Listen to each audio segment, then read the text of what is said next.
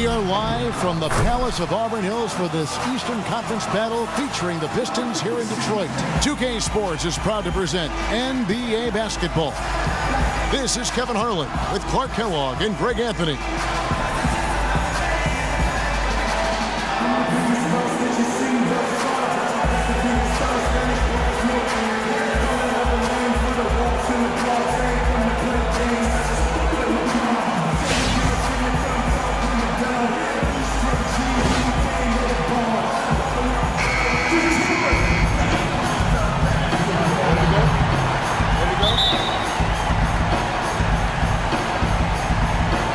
So Detroit will get the first possession. And now the New York Knicks starters.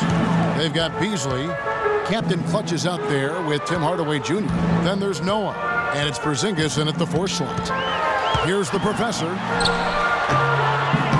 It's rebounded by Noah. And last year, not exactly up to Noah's lofty standards. It's way down in field goal percentage and free throw percentages compared to the season before, but he did not play completely healthy all of last year either. A little dinged up, missed 13 games more than he had the season prior, and also the minutes dropped as well. And you could just see him laboring at times on the floor, clearly affected by those injuries. And so it's the Knicks getting on the board first. This one for three, and Bradley gets it to go. You can't afford to get him that kind of a look. Well, you know, he came off a good screen, but still, as a defender, you got to do a better job of fighting over and through that. Here's Porzingis. There's the pass to Hardaway. To the paint, stolen by Jackson. And here comes Harris, leading the fast break.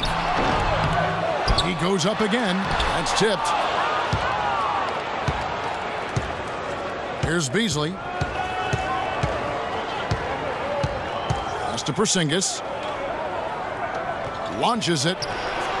No good from Beasley. Well, if you name an offensive stat category, the Knicks last season probably last in that category. All-around problems, Greg,